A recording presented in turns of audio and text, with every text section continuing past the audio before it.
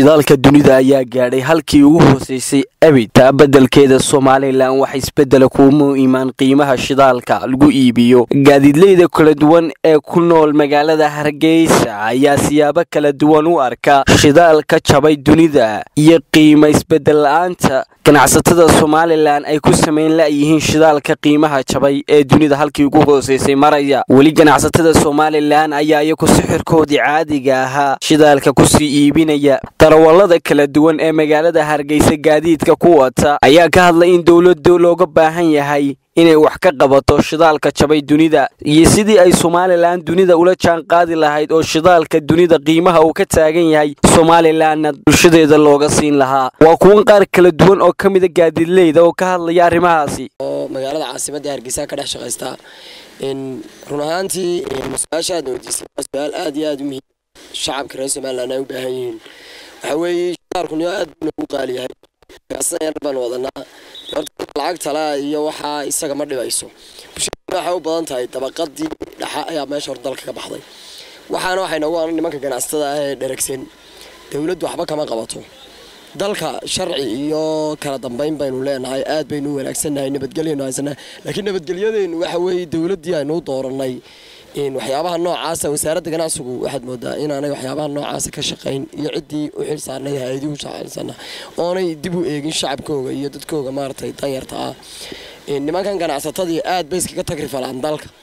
Waxa weeye waxay dhahaan maalinba shilinba shilin shilin gaadhsii oo maalin keliyay doonaan inay taajiraan. Waa dhigmiirato dhigmiirataduna dee dalka waxa weeye waxba uma soo wadee waa burburinteedu. New shidaalku waa runoo aad buu noogu qaali yahay.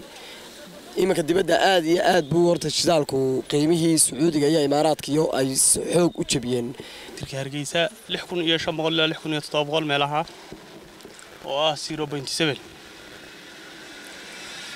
Marka waxa weeye dee adduunkiina foosadii baa ka maraysa dhowr iyo labaatan dollarba marka waxa weeye dee waxaan aad cidi u eegin oo u baahan in dee dib loo eego dadka loo naxariisto. Taasoo keliyana maaha waxa weeye waxyaaba badan baa u baahan iminka in dib loo eego. Waxa weeye iminka soddon sannadood leydhku wuxuu marayaa halkii uu soddon sannadood ka hor marayay buu iminka weli maraya adduunka waxaynu noqonnay leydhka ugu qaalisan adduunka.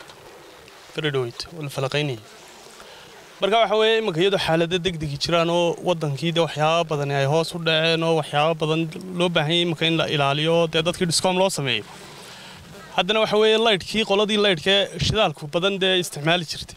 Iminka shidaal badan ma isticmaalayaan shidaalkii wuu jaban yahay. Waxa weeye in laydhka laftiisii ay dub eegaan oo ummadda loo naxariisto oo nimankan tijaartii dadka ay u turaan oo dowladda lafteeda waxyaabaha ay eegto.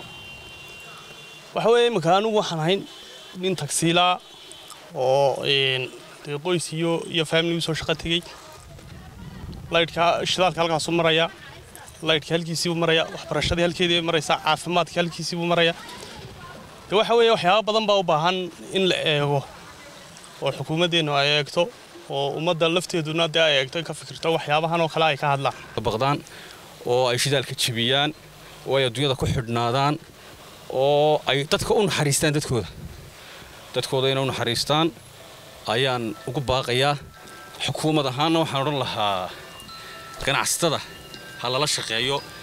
Wixii macquula ee ay wixii macquula dee ha lagula shaqeeyo. Oo dee wixii xadka ka baxsan ile meesha xukuumad baa ka jirta.